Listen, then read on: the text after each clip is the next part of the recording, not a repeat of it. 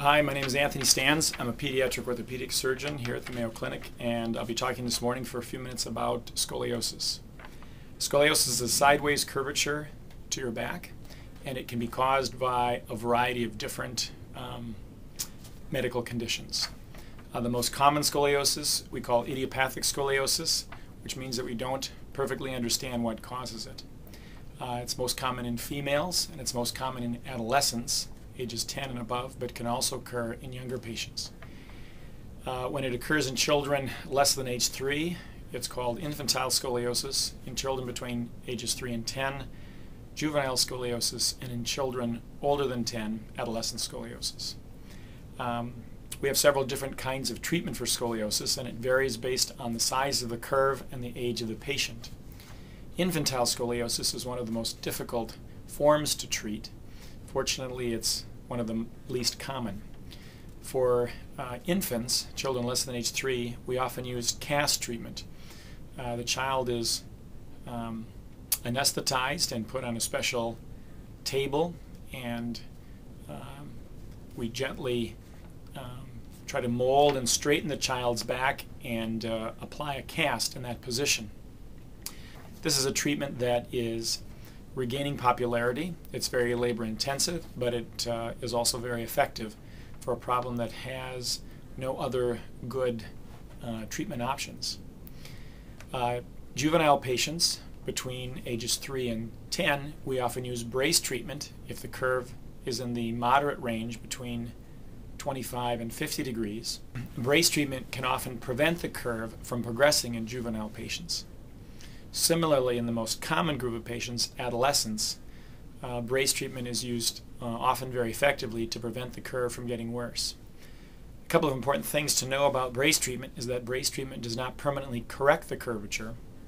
Uh, the main purpose of brace treatment is to prevent it from getting worse. And so you can see why we would not want the curve to be allowed to become too large before we initiate brace treatment. Typically, brace treatment is used for patients who have curves between uh, 25 and 50 degrees.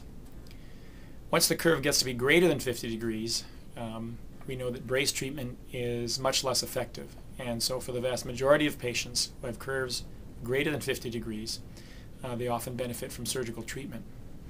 In young patients, uh, we often use what we call quote unquote growing rod constructs, where uh, rods are placed and then are gradually distracted or lengthened periodically over time, often approximately every six months.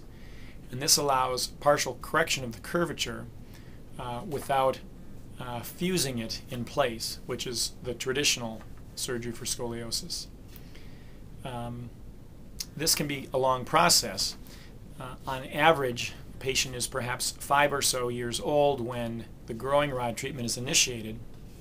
And it might continue for uh, eight or so years, so that uh, uh, definitive surgery is done when children are um, 12 to 14 years of age.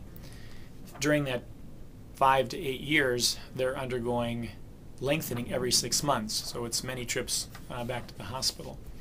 Uh, but still, the growing rod procedure is uh, the best option we have for a very challenging problem. For patients older than age 12, approximately, uh, we typically perform uh, spinal instrumentation and fusion. And in this procedure, uh, rods are placed alongside the spine, and we use different points of fixation or attachment to the spine, which can be screws, hooks, or wires.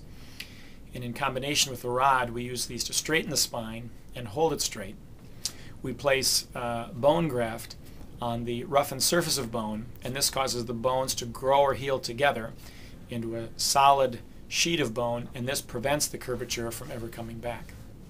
Fortunately, spinal instrumentation and fusion surgery is very successful uh, with few complications, and we have considerable experience doing that.